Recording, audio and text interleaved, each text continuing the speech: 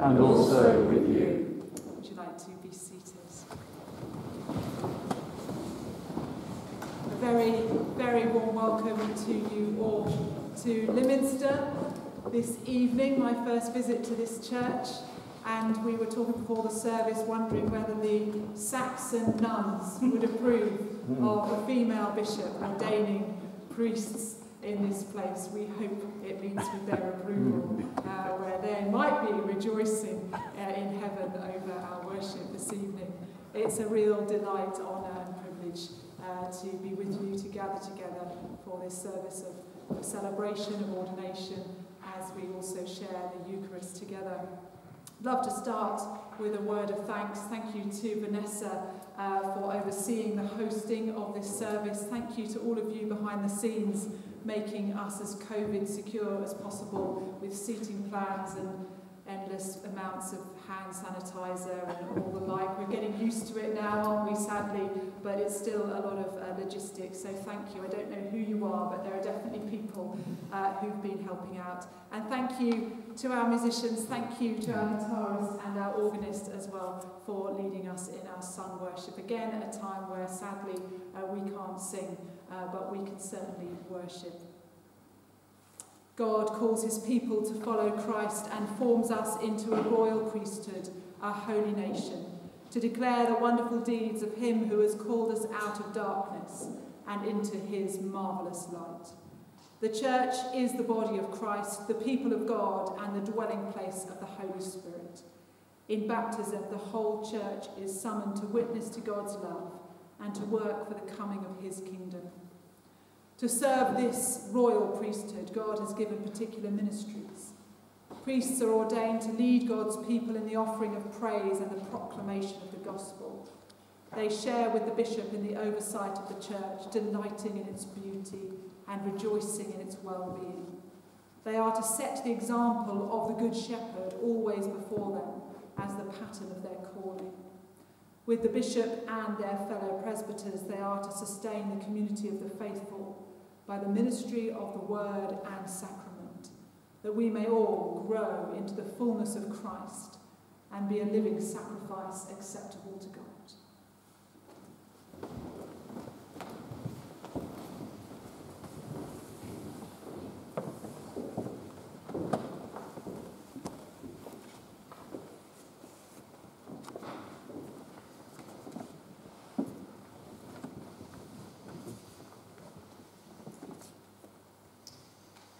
Bishop Ruth, I present Mark David Roger to be ordained to the office of priest in the Church of God.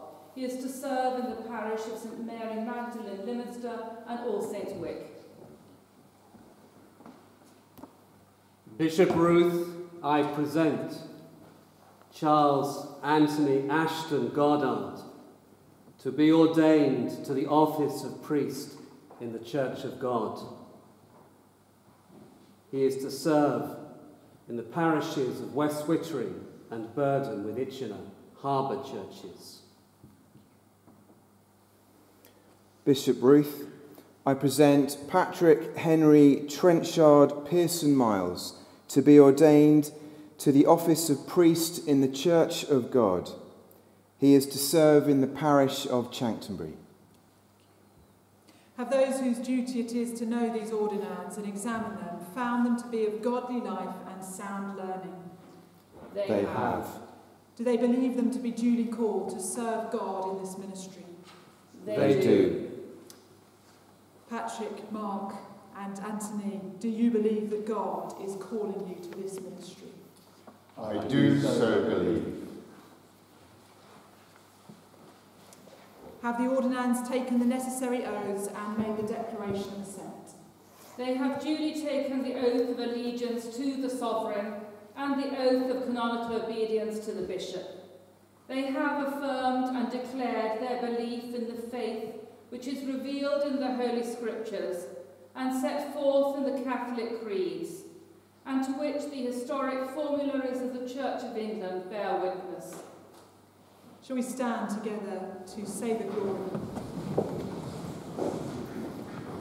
Glory to God in the highest, and peace to his people on earth. Lord God, heavenly King, almighty God and Father, we worship you, we give you thanks, we praise you for your glory. Lord Jesus Christ, only Son of the Father, Lord God, Lamb of God, you take away the sin of the world. Have mercy on us. You are seated at the right hand of the Father. Receive our prayer. For you alone are the Holy One. You alone are the Lord. You alone are the Most High, Jesus Christ, with the Holy Spirit, in the glory of God the Father. Amen. Do be seated.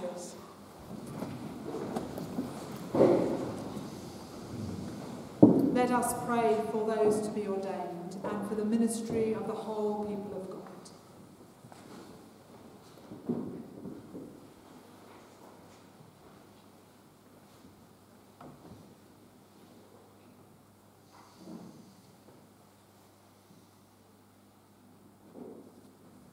God, our Father, Lord of all the world, through your Son you have called us into the fellowship of your universal church.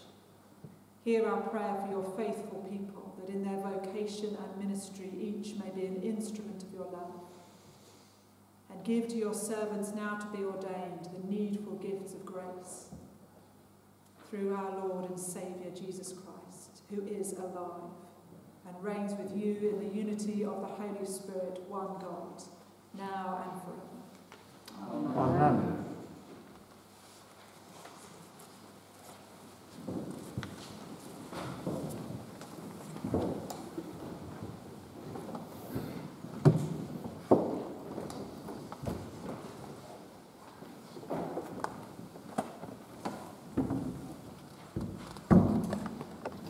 our Old Testament reading. It's Isaiah chapter 6, verses 1 to 8. In the year that King Uzziah died, I saw the Lord sitting on a throne, high and lofty, and the hem of his robe filled the temple. Seraphs were in attendance above him. Each had six wings. With two they covered their faces, and with two they covered their feet, and with two they flew. And one called to another and said, Holy, holy, holy is the Lord of hosts. The whole earth is full of his glory. The pivots of the thresholds shook at the voices of those who called, and the house filled with smoke.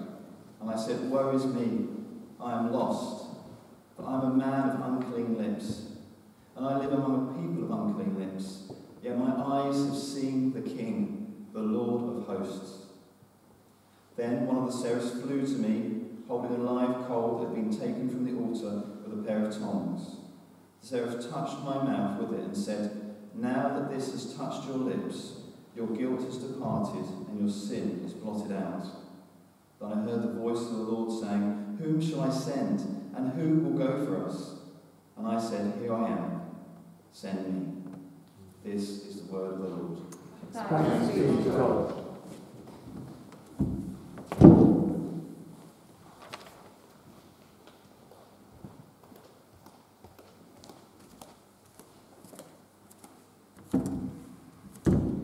This is the New Testament reading from 1 2 Corinthians 5 17 to 6, verse 2.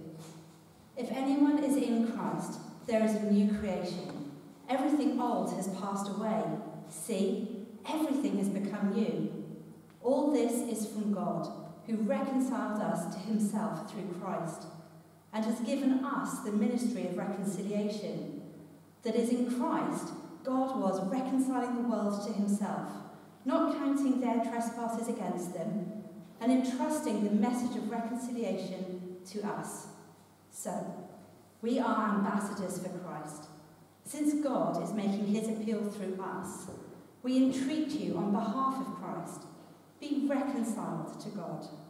For our sake, he made him to be sin who knew no sin, so that in him we might become the righteousness of God. And as we work together with him, we urge you also not to accept the grace of God in vain. For he says, At an acceptable time I have listened to you, and on a day of salvation I have helped you. See, now is the acceptable time. See, now is the day of salvation. This is the word of the Lord. Thanks God.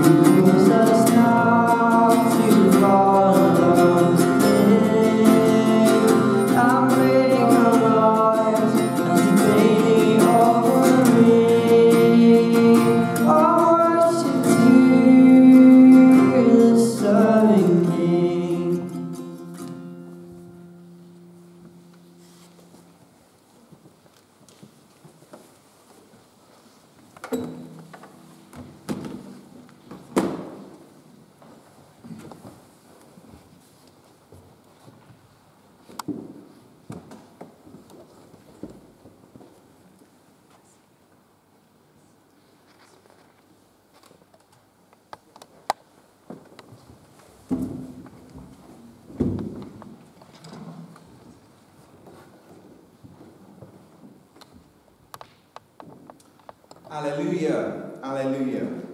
I chose you and appointed you, says the Lord, that you should go and bear fruit that shall last. Alleluia.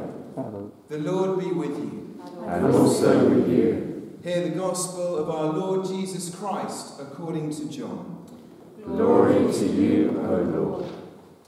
Jesus said to his disciples, Very truly I tell you, anyone who does not enter the sheepfold by the gate, but climbs in by another way, is a thief and a bandit.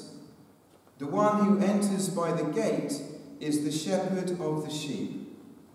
The gatekeeper opens the gate for him, and the sheep hear his voice. He calls his own sheep by name and leads them out. When he has brought out all his own, he goes ahead of them, and the sheep follow him because they know his voice. They will not follow a stranger, but they will run from him because they do not know the voice of strangers. Jesus used this figure of speech with them, but they did not understand what he was saying to them.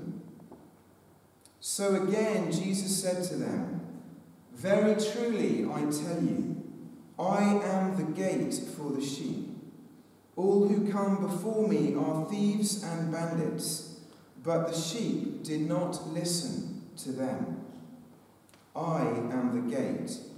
Whoever enters by me will be saved and will come in and go out and find pasture. The thief comes only to steal and uh, kill and destroy. I came that they may have life and have it abundantly. I am the good shepherd. The good shepherd lays down his life for the sheep. The hired hand, who is not the shepherd and does not own the sheep, sees the wolf coming and leaves the sheep and runs away. And the wolf snatches them and scatters them. The hired hand runs away because a hired hand does not care for the sheep. I am the good shepherd. I know my own, and my own know me, just as the Father knows me, and I know the Father. And I lay down my life for the sheep.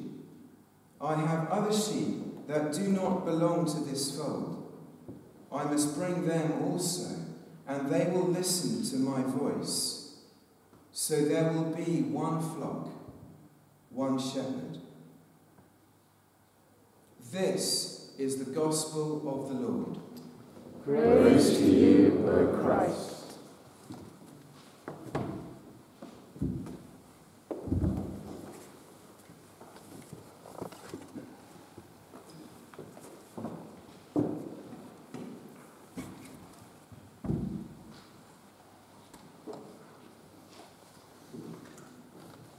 May the words of my mouth and the thoughts of our hearts be glorified to you, O Lord. Amen. Amen. You be seated. Well, would you kindly uh, in your service sheets to look at our first scripture reading from the book of Isaiah, chapter 6, and uh, have it in front of you as I preach. Uh, this is a, an amazing account of how Isaiah himself was called to be a prophet. And we see this uh, refrain in, in scripture, in the books of the prophets.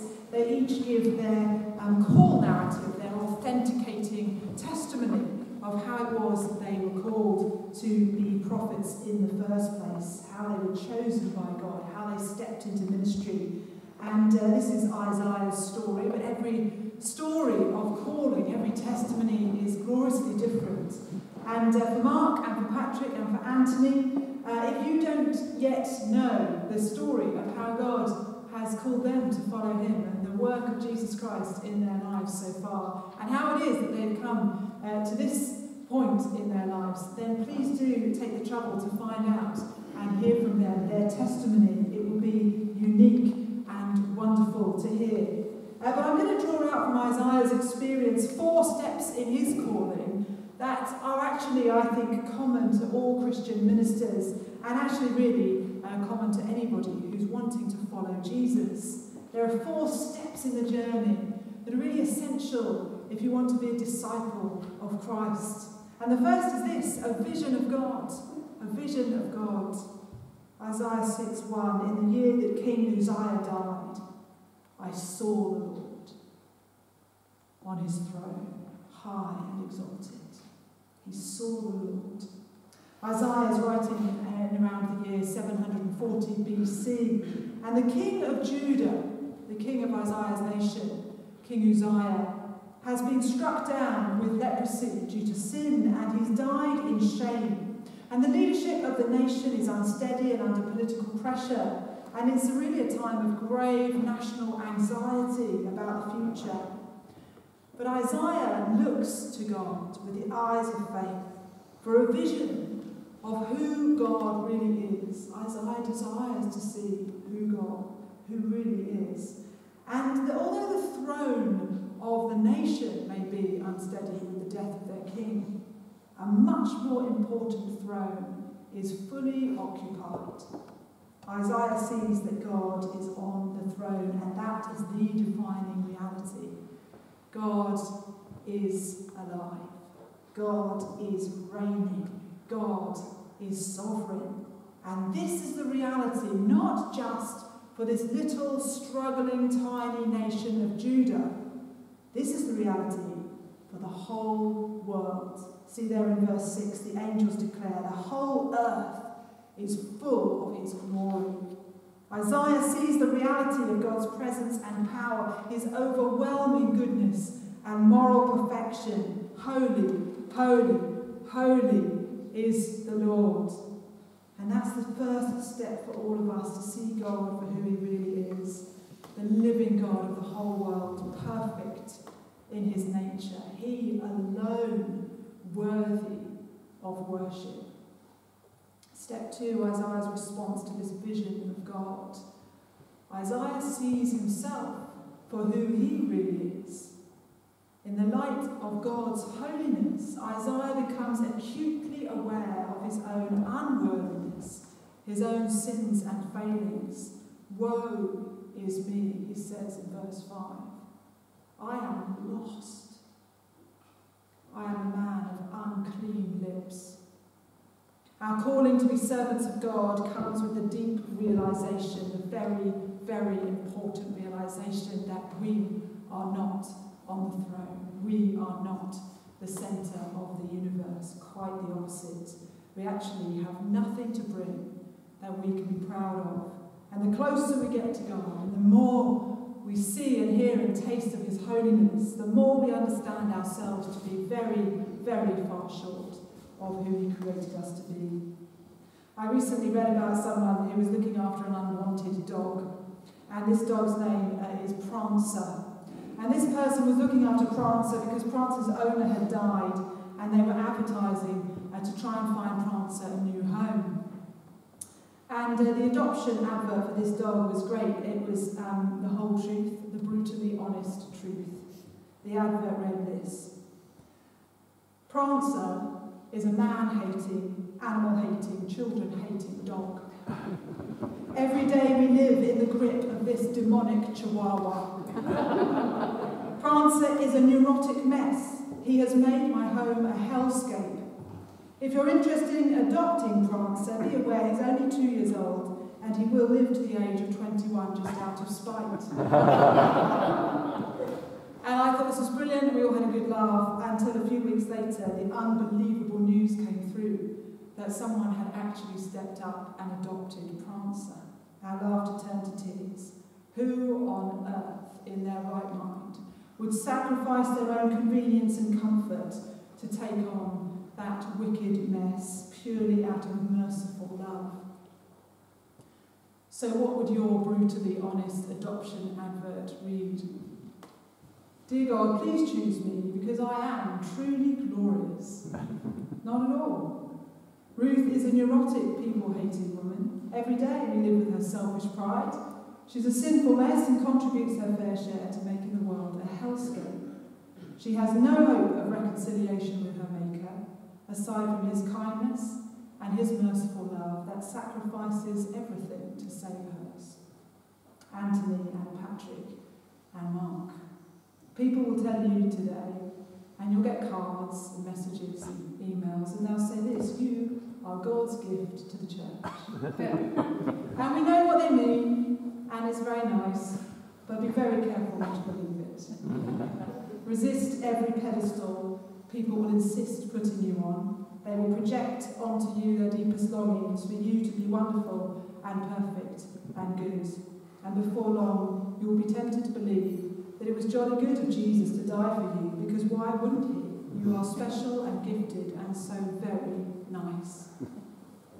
But like Isaiah, the posture of every Christian must be our confession of sin. Woe is me, for I am lost. I am lost. And then immediately, the glorious next step for each one of us to receive the forgiveness and the grace that instantly flows from the throne room of God. And the moment we connect with the real truth about the mess of our own hearts, God's response in grace comes in an instant. Verse 6 Isaiah is touched by a live coal from the altar in the temple, the altar being the place of sacrifice where in Isaiah's time the lambs are killed as a sacrifice for sin. And the picture of this sacrifice needed for sin, for atonement, is perfectly fulfilled once and for all by Jesus. And we heard in our gospel reading the one who is the good shepherd, who lays down his life for his people. All Isaiah's guilt and shame is taken away. He is completely forgiven and completely free. The angels, interestingly, touch Isaiah's mouth. And Isaiah, in his awareness of his own sin, said, I'm a man of unclean lips. It was specific shame, guilt. And yet they touch these unclean lips, and Isaiah is transformed into God's mouthpiece, God's prophet, God's spokesperson. Such a great picture of redemption. Patrick, Anthony, and Mark, as you become priests, We'll read in a moment's time the ordinal, which articulates quite how much of your ministry is to be one that is about speaking and communicating. This is what it says priests are called to proclaim, to be messengers, to teach, to admonish, to call people to repentance, to declare forgiveness, to tell the story of God's love, to preach the word, to declare his deeds, to bless people, and to intercede. Like Isaiah, yours is a ministry of communication, so keep coming back to a right vision of God. Keep encountering himself in worship. Keep your eyes beholding his glory. Keep returning to him in confession of your sin. Keep relying on his amazing flood of instant grace and keep allowing him to equip you for this ministry of communicating his incredible gospel. And the last step after Isaiah is forgiven is that he is sent out. Who will I send? asks God. Here I am, says Isaiah. Send me. In response to God, every Christian is called to go out into our hurting and broken world and carry this news of God's grace and freedom. And for Isaiah, it was a difficult calling. We always end these readings uh, where we've ended it. Here I am, send me, hurrah. We pop the champagne, it sounds wonderful, doesn't it? You read on just one or two verses, it's a nightmare. It's very difficult. Isaiah spent 40 years as God's mouthpiece, 40 years calling out corruption, speaking of hope, warning people of the coming judgment, and calling them to respond now in the light of it, urging them to respond. And his words went unheeded. 40 years of rejection. That is what God gave Isaiah when he said to God, Here I am, send me. And today's a day of rejoicing. I'm not here to rain on your parade at all. we rejoice, we celebrate genuinely, great joy. Uh, but there's a sober reality to your yes to God. Ahead of you are moments of tremendous joy and delight, of deep, deep fulfillment in ministry and great peace. But the call is by definition a costly one. I think you know that. I think you know that. There's going to be rejection, there's going to be struggle, uh, that's for sure. There will be warfare over you and your ministry. To those of you who are here to love and support and pray for these priests, they will need your love and prayer and support. So thank you for it, and please keep giving it. They'll need it through the joys and they'll need it through the struggles and challenges that they're definitely going to be facing. When I was a curate, uh, my husband and I were giving a little uh, class of 30 school children a tour of the church that we were in in Nottingham, and uh, we showed them the baptistry and explained all the stained glass windows and all the lovely pictures of the saints and the communion set. And at the end of the tour, my husband sat them down on a little carpet and said, uh, Does anybody have any questions? And a little boy stuck his hand up and said, How much does it cost to join the church? and my husband said, Great question. It is completely free and it will cost you everything. It's a costly call. So may you step into your calling with joy and. May you be sustained by seeing the Lord for who he really is. May you know his grace covering over all your failures. May you know his delight as you dedicate yourselves to his service. Amen. Shall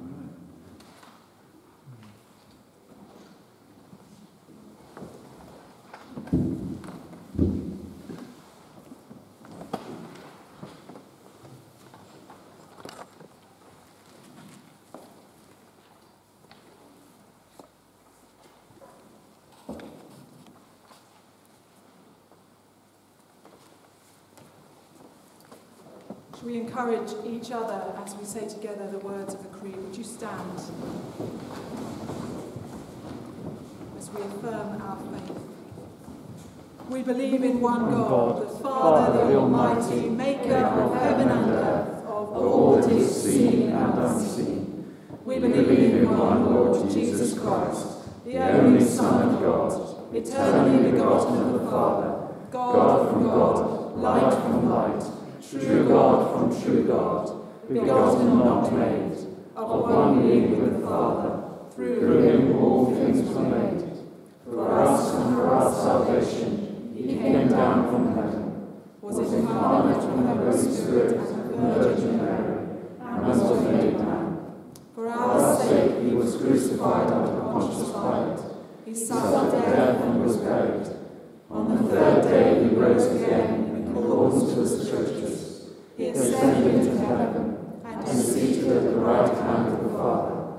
He will come again in glory to judge the living and the dead, and his kingdom will have no end. We believe in the Holy Spirit, the Lord, the giver of life, who proceeds from the Father and the Son, who with the Father and the Son is worshipped and glorified, who has spoken through the prophets. We believe in one holy, Catholic, and Apostolic Church. We acknowledge one baptism for the forgiveness of sins. We look for the resurrection of the dead and the life of the world to come. Amen.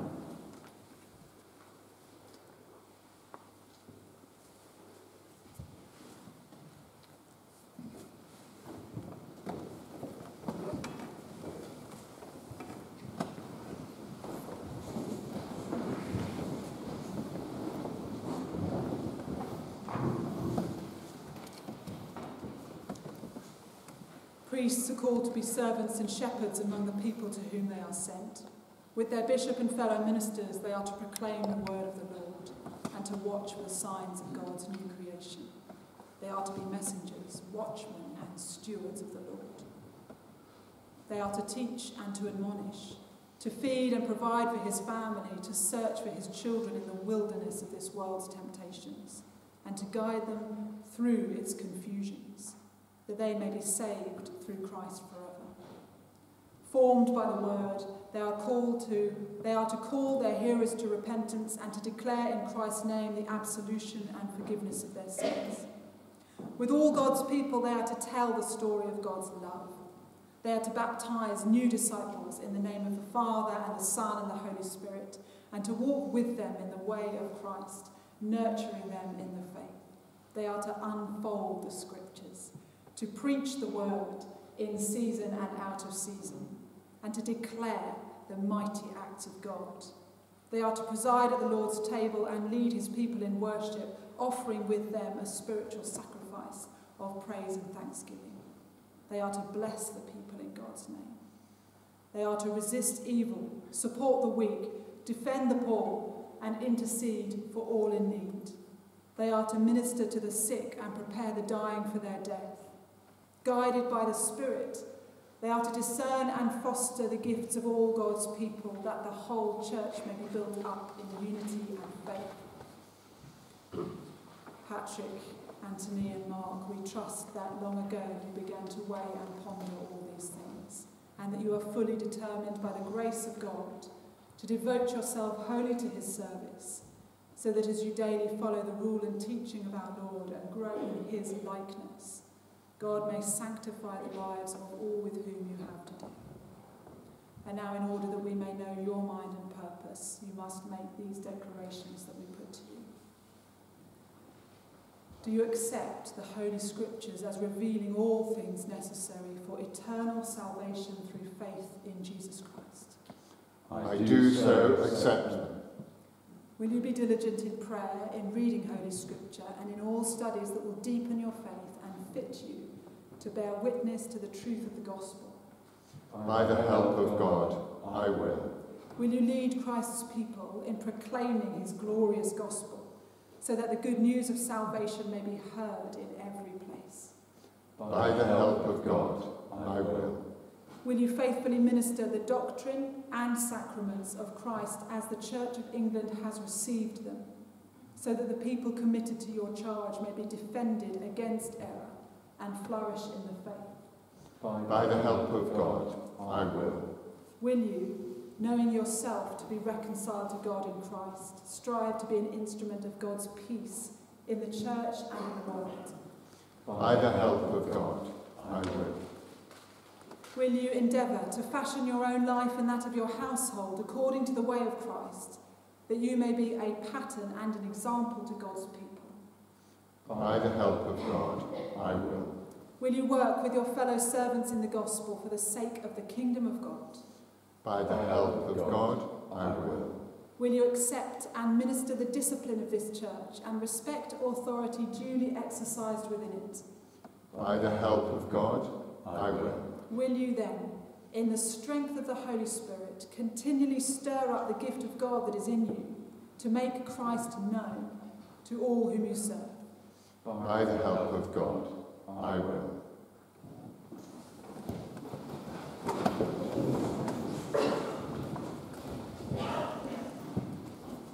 My dear brothers and sisters, you have heard how great is the charge that these ordinands are ready to undertake. And you've heard their declarations. Is it now your will that they should be ordained? It is.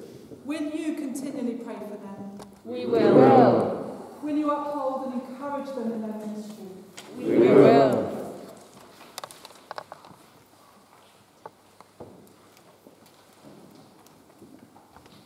In the name of our Lord, we bid you remember the greatness of the trust that is now to be committed to your charge. Remember always with thanksgiving that the treasure now to be entrusted to you is Christ's own flock, bought with the shedding of his blood on the cross, and it is to him that you will render account for your stewardship of his people. You cannot bear the weight of this calling in your own strength, but only by the grace and the power of God. So pray that your heart would be daily enlarged and your understanding of the scriptures be enlightened. Pray earnestly for the gift of the Holy Spirit.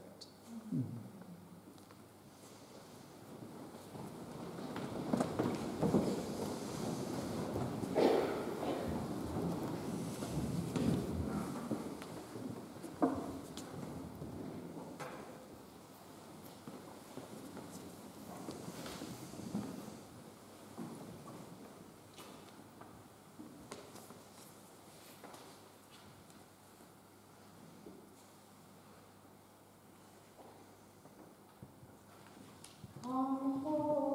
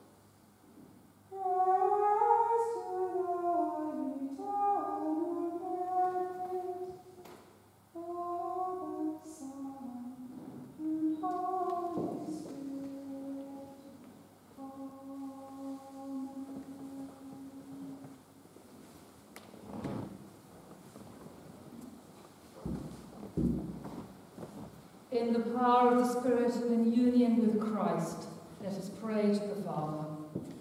Lord, have mercy. For the peace of the whole world, for the welfare of the Holy Church of God, for the unity of all, let us pray to the Lord. Lord, have mercy. For all the members of the Church in their vocation and ministry, that they may serve him in truth and love, let us pray to the Lord. Lord, have mercy.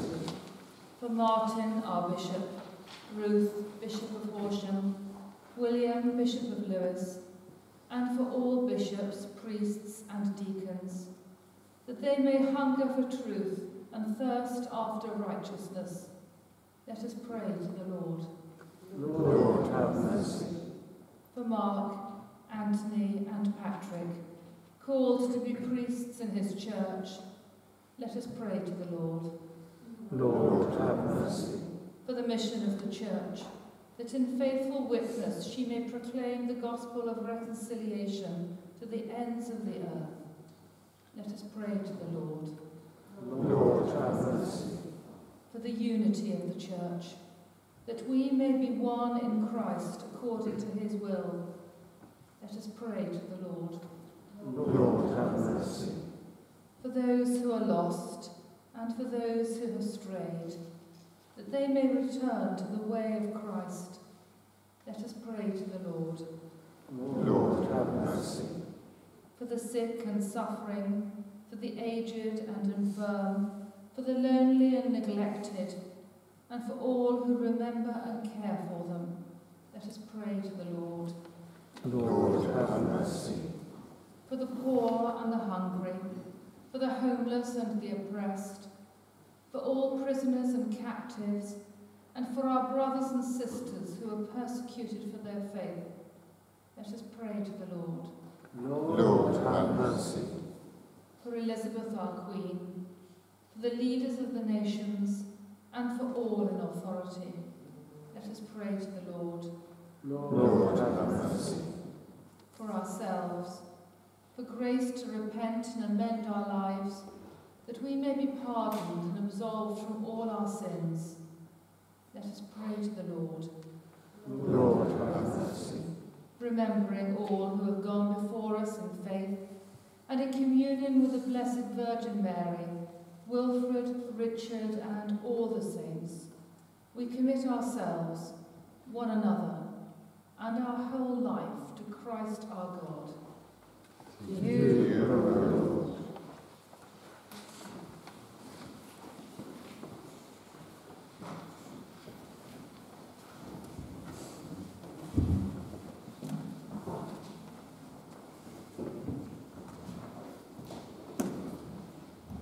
praise and glorify you, Almighty Father, because in your infinite love you have formed throughout the world a holy people for your own possession, a royal priesthood, a universal church.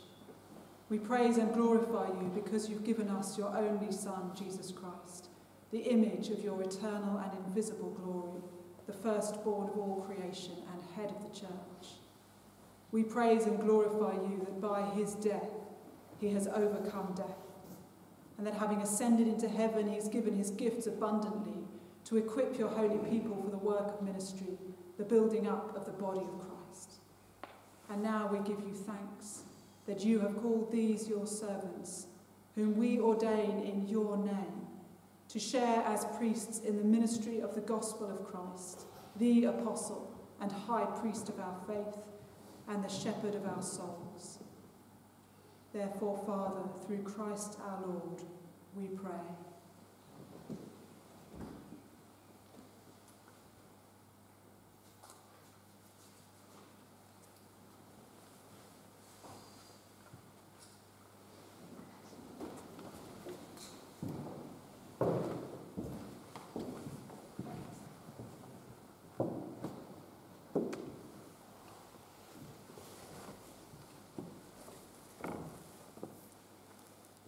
Send down the Holy Spirit on your servant Mark for the office and work of a priest in your church.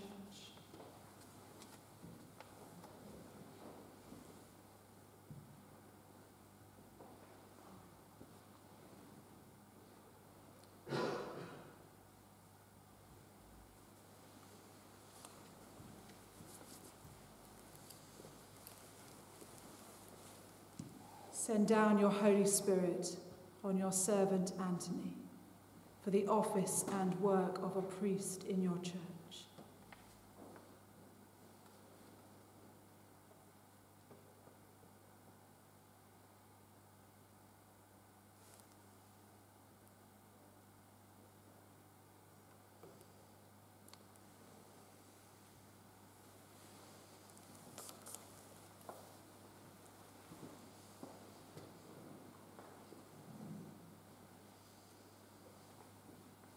Send down the Holy Spirit on your servant Patrick, the office and work of a priest in your church.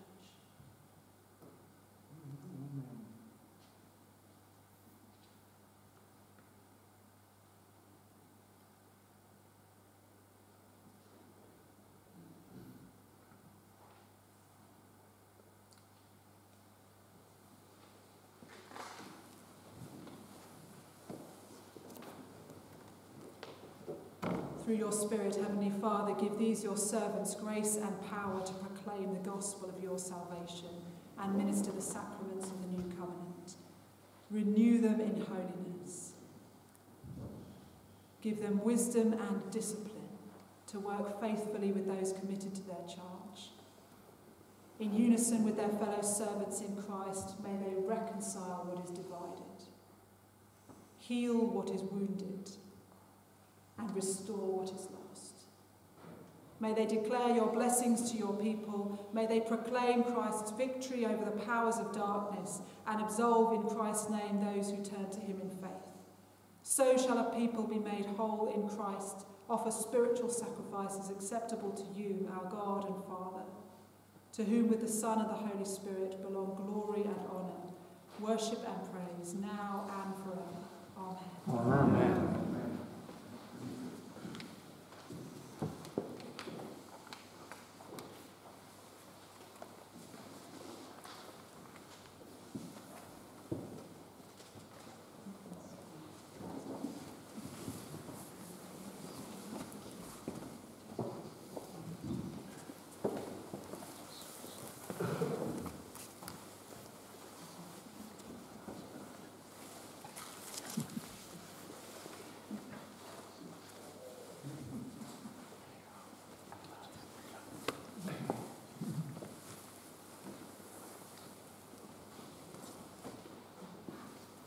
Mark, receive this book as a sign of the authority which God has given you this day to preach the gospel of Christ and to minister his holy sacraments.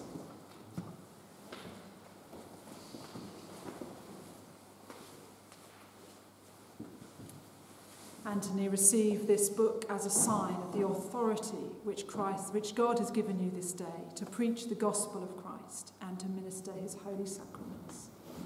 Amen.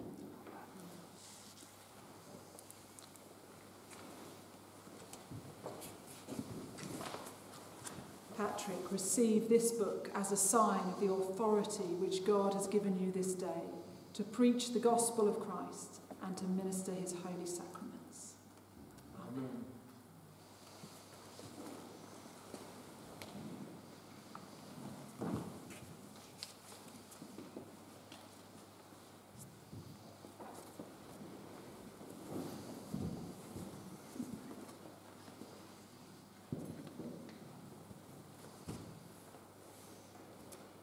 May God, who anointed the Christ with the Holy Spirit at his baptism, anoint and empower you to reconcile and bless his people.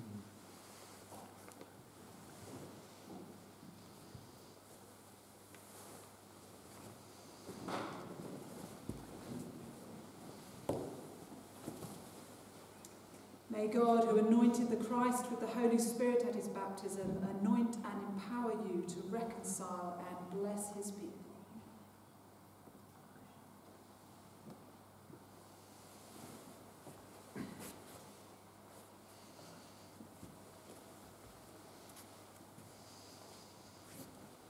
God, who anointed the Christ with the Holy Spirit at his baptism, anoint and empower you to reconcile and bless his people. Amen.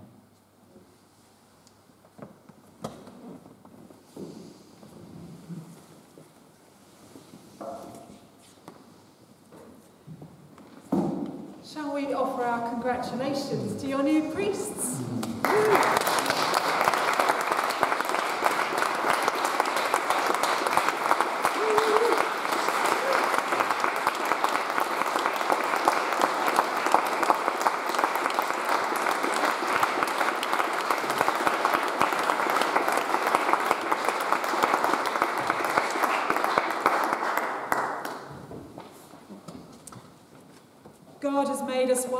Christ. He has set a seal upon us as a pledge of what is to come. He has given us the Spirit to dwell in our hearts. The peace of the Lord be always with you. And also with you.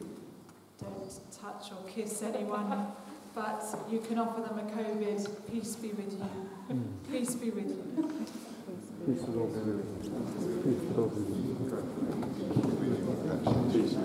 with you. Peace be with you. With you. Peace be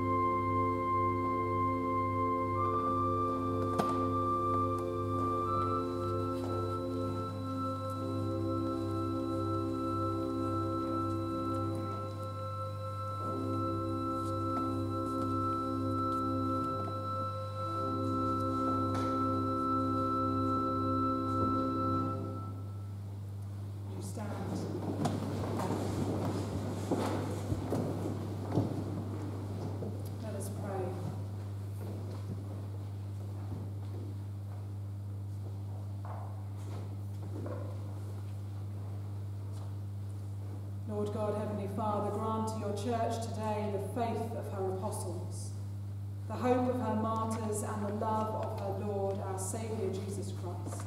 Amen. Amen.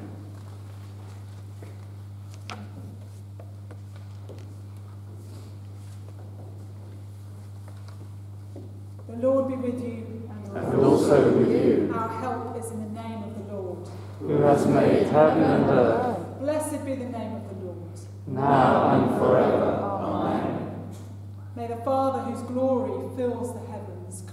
by his holiness and send you to proclaim his word. Amen. May Christ, who has ascended to the heights, pour upon you the riches of his grace. Amen. May the Holy Spirit, the Comforter, equip you and strengthen you in your ministry. Amen. And the blessing of God Almighty, the Father, the Son, and the Holy Spirit rest upon you and those who you love and pray for this night and forever. Hmm. Amen. Amen. Go in the peace of Christ. Thanks be to God.